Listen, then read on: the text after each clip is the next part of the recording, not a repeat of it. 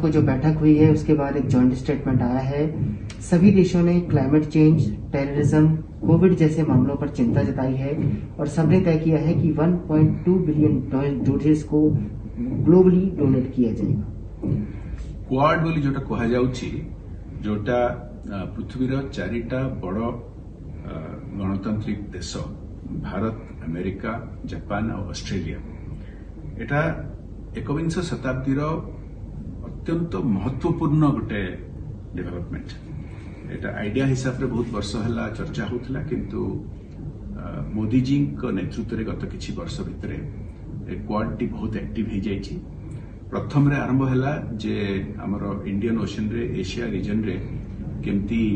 rules ମୁତାବିକ ଅନ୍ୟ ଦେଶମାନେ କାମ କରିବେ କିଛି ଦେଶ ଅଛନ୍ତି ଏସିଆରେ ଯେଉଁମାନେ କିଛି ରୁଲ୍ସ ମାନିବାକୁ ନାରାଜ ଅନ୍ୟମାନଙ୍କ ସହିତ ସବୁବେଳେ ଝଗଡ଼ା କରୁଛନ୍ତି ସେଟା କେମିତି ମ୍ୟାନେଜ୍ କରାଯିବ ଏଇଥିରେ ଆରମ୍ଭ ହେଇଥିଲା କିନ୍ତୁ ଏବେ ୟାଙ୍କ ଏଇ ଚାରୋଟି ଦେଶର ଭୂମିକା ବଢ଼ୁଛି ଆଉ ଟେରୋରିଜିମ୍ ଉପରେ ଯଦି ଆମେ ଦେଖିବା ଆମେ ତ ଏତେ ଦଶନ୍ଧି ହେଲା ତାର ଶିକାର ହେଇଛୁ କିନ୍ତୁ ଅନ୍ୟ ଦେଶମାନେ ବି ଏବେ ତାର ଶିକାର ହେଲେଣି ଏବେ ନିକଟରେ अमेरिकार कोड़े वर्ष है नाइन इलेवेन रो हिंसाकांड होता टेररिज्म से भाई क्लैमेट चेंज उ मोदीजी नेतृत्व में गत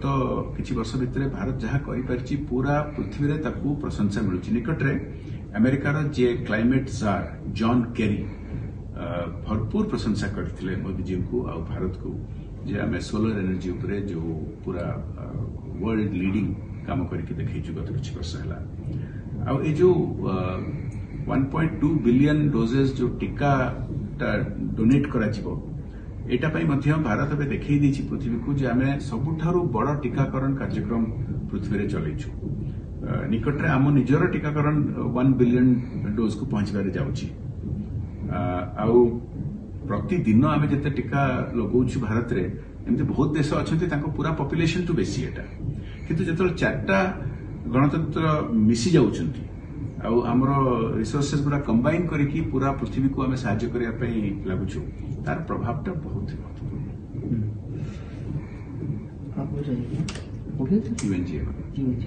अच्छा प्रधानमंत्री नरेंद्र मोदी आज यूएनजीए में स्पीच करेंगे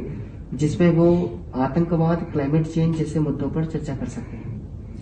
आज मान्य प्रधानमंत्री मोदी जी जो स्पीच टी अच्छी यूनाइटेड नेशंस जनरल असेंबली रे एटा बहुत एंटीसीपेटेड बहुत देश माने अपेक्षा रे अछंती